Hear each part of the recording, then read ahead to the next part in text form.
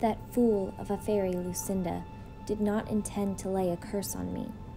She meant to bestow a gift. When I cried inconsolably through my first hour of life, my tears were her inspiration. Shaking her head sympathetically at Mother, the fairy touched my nose. My gift is obedience. Ella will always be obedient. Now stop crying, child. I stopped.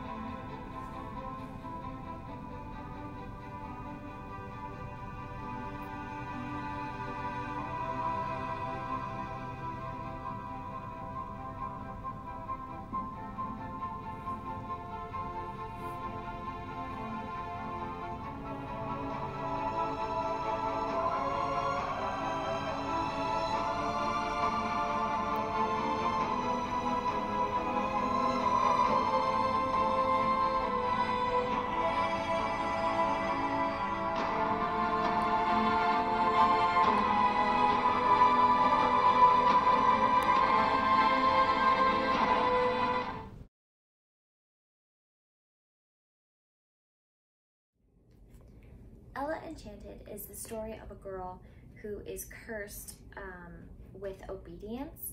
And so anytime anyone gives her a command, she has to do it. And that can lead to things like her stepsisters being mean to her or even her own death if it ever came to that. Um, and so this story is about a girl um, finding the strength to overcome that curse um, while also finding love and just becoming her own kind of person. And um, it's a great book for uh, middle schoolers and high schoolers because it's a play on a fairy tale and um, it's just a really good book for girls um, with a strong female character um, and just a feel-good novel.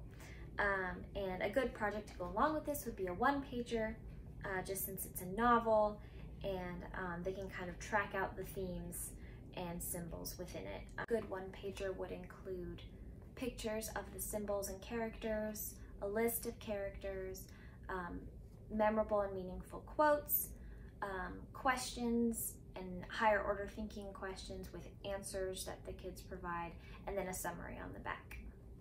Um, thank you for watching, and I hope you read this book.